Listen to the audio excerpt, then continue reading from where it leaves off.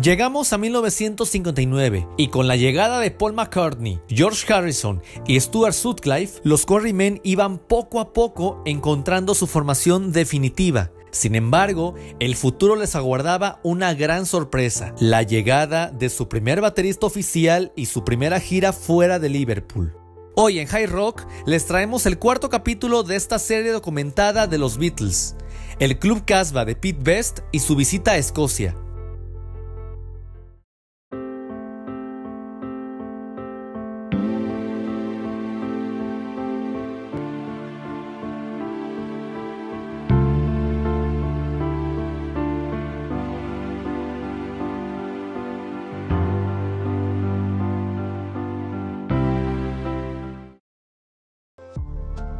Pete Best nació el 24 de noviembre de 1941. Es hijo de Mona Best y ambos jugarán un papel muy importante en la carrera de los Quarrymen. Veamos cómo pasa esto. Durante el verano de 1959, Pete con un grupo de amigos arreglaron el sótano de su casa para escuchar discos. Poco tiempo después se les ocurrió la idea de que fuese un club que sirviera como foro para aquellos grupos de música beat que se formaban en todo Liverpool. La idea era excelente, debido a que por entonces solamente había foros como The Cavern, donde únicamente permitían tocar jazz. La mamá de Pete estuvo de acuerdo y decidió apoyarlos. El primer conjunto que encontraron fue precisamente The Quarrymen a través de la amiga de uno de los miembros que entraban y salían constantemente de la banda, el guitarrista Ken Brown. Naturalmente, John, Paul y George estaban tan entusiasmados de poder tocar en la inauguración del nuevo club, así que ayudaron al mantenimiento del sótano pintando las paredes para su concierto, tal y como la señora Mona Best se los había pedido. Este lugar recibió el nombre de Club Casbah, nombre que sugirió la mamá de Pete inspirada en el barrio Casbah de la película Algiers de 1938. El local fue inaugurado el 29 de agosto de 1959 y los Quarrymen, conformados por John Lennon, Paul McCartney, George Harrison, el guitarrista Ken Brown,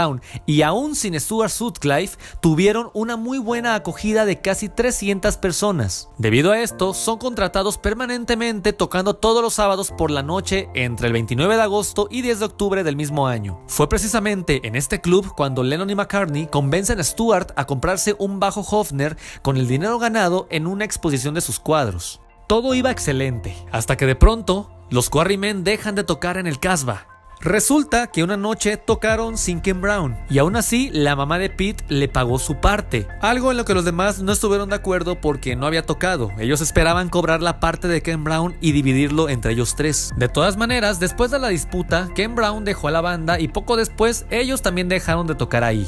Enseguida Pete Best vio la oportunidad para formar su propio grupo junto con Ken Brown, llamándose The Black Jacks, convirtiéndose en la banda oficial del club. En este momento aparece en escena Alan Williams, el primer manager de la banda, quien era dueño del club Jacaranda y el Blue Angel, sitios donde frecuentaban Lennon McCartney y el resto de la banda. Alan les ofreció tocar en el Club Jacaranda con la condición de decorar el lugar, de la misma manera que lo hicieron en el Casbah. Poco tiempo después, Williams les consigue una audición para Larry Parnes, el manager más importante del rock and roll inglés, quien manejaba a los cantantes Tommy Steele, Bill Fury, Martin Wilde, Duffy Power y Johnny Gently. Larry había ido hasta Liverpool para buscar un grupo de apoyo para el cantante Billy Fury en una gira por el norte de Inglaterra y Escocia. Fue entonces cuando surgió por primera vez la idea de llamarse The Beatles. Existen varias versiones acerca del origen del término. La más famosa, y según el propio Lennon, es que se le apareció un hombre en un pastel flameante quien le dio la idea de llamarse Beatles con una A. Sin embargo, fue Stuart Sutcliffe que le sugirió a Lennon llamarse Beatles en honor a Buddy Holly and the Crickets, ya que Beatle significa escarabajo y Cricket grillo. Jugando con las letras, Lennon cambió la doble E por EA para que hiciese pensar en la música beat. Según el biógrafo Hunter Davis, este es el sencillo y verdadero origen del legendario nombre, aunque pasará algún tiempo antes de que lo usasen. Poco antes de la audición se encontraron con Brian Cassar del grupo Cass y los Casanovas. Al enterarse de que se llamaban Beatles, le dijo a Lennon que era muy corto y muy simple, por lo que enseguida le sugirió el nombre de Long John and the Silver Beatles, argumentando que un grupo tenía que llevar un nombre largo como el suyo. De última hora acortaron el nombre a Silver Beatles y así audicionaron el 10 de mayo de 1960 con John Lennon, George Harrison, Paul McCartney, Stuart Sutcliffe y Tommy Moore, un baterista de apoyo para ese momento. Durante la audición tuvieron problemas porque Tommy llegó tarde, por lo que tuvieron que empezar con Johnny Hutchinson, baterista de Cass and the Casanovas. Otro inconveniente era que Stuart no tocaba muy bien el bajo. Es por eso que en las fotos se le ve tocando de espaldas para que el jurado no notara sus errores. Finalmente el puesto se lo llevaron Cass and the Casanovas. A pesar de todo, Larry Parnes consideró que el grupo tenía futuro, pero no les quería dar trabajo sin antes no despedían a Stuart. Ante esto, los demás miembros declinaron la oferta por la amistad y lealtad que le tenían. De todas formas, Larry les ofreció una gira de dos semanas por Escocia, prometiéndoles 18 libras semanales acompañando al cantante Johnny Gently. No se trataba de una gira para la banda, pero era su primer contrato como profesionales, y además sería una gira de verdad, por poco importante que fuese. Finalmente, el grupo en compañía del baterista Tommy Moore partió a Escocia el 20 de mayo de 1960. Para los conciertos se cambiaron el nombre a simplemente Johnny Gently and His Group.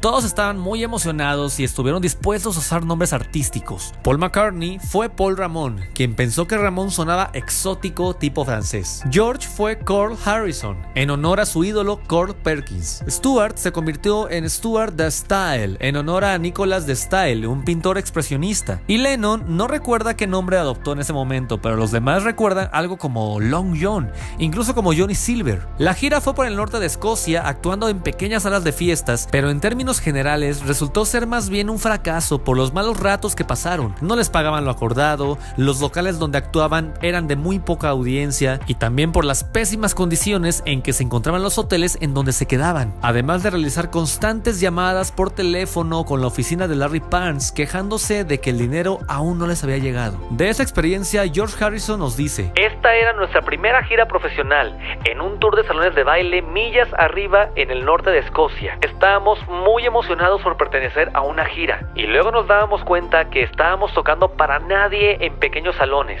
hasta que los pubs se vaciaban y alrededor de cinco chicos escoceses entraron a los salones a vernos. Y eso fue todo, nada ocurrió no sabíamos nada en realidad. Era triste porque éramos como huérfanos.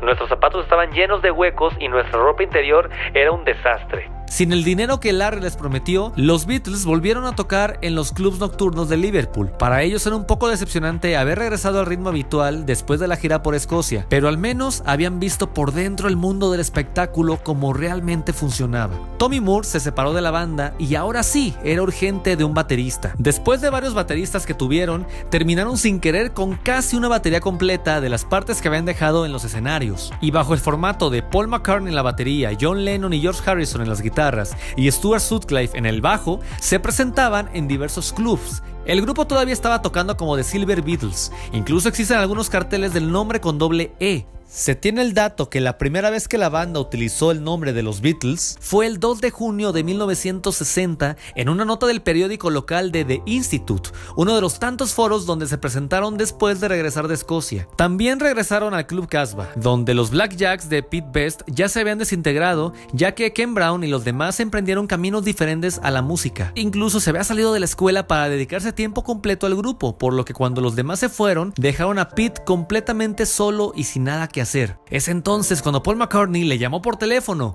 preguntándole si podía acompañarlos como baterista a una próxima gira en Hamburgo, Alemania. Pete accedió de inmediato y después de una audición en el Club Jacaranda, propiedad de Alan Williams, se convirtió en el primer baterista oficial de los Beatles. ¿Y por qué Hamburgo?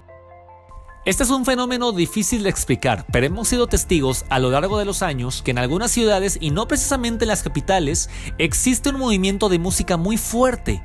Por ejemplo, a finales del siglo XIX, Nueva Orleans se convirtió en el puerto más importante de los Estados Unidos y fue ahí donde se dio un sincretismo cultural muy fuerte con la llegada de inmigrantes franceses, ingleses, portugueses, holandeses, españoles y africanos. Y es precisamente por esto que allá será donde se van a dar las fusiones musicales más grandes que dieron origen primero al ragtime y posteriormente al primer estilo de la historia del jazz, el estilo de Nueva Orleans. En Alemania pasó algo similar, mientras que en Berlín no existió un ambiente rockero importante, en Hamburgo sí. Quizá esto se deba a dos factores. El primero es que Hamburgo es un puerto comercial, cuando una ciudad es puerto, le tocan de primera mano todas las importaciones del arte, cine, música e idioma. Es decir, toda la influencia extranjera que siempre llega tarde a otras ciudades, a la población de Hamburgo les llegó primero y se quedó con ellos. Entre estas cosas se encontraba la música de los Estados Unidos e Inglaterra. El segundo factor fue el muro de Berlín. Creado en 1961, el muro dividió a Alemania en dos, una parte para los soviéticos y otra para los Estados Unidos. La parte para los soviéticos, la República Democrática Alemana, tenía muchos problemas económicos y de calidad de vida, mientras que la parte de los Estados Unidos, la República Federal Alemana, era mucho mejor, con una economía pujante y unas condiciones de vida mucho más óptimas.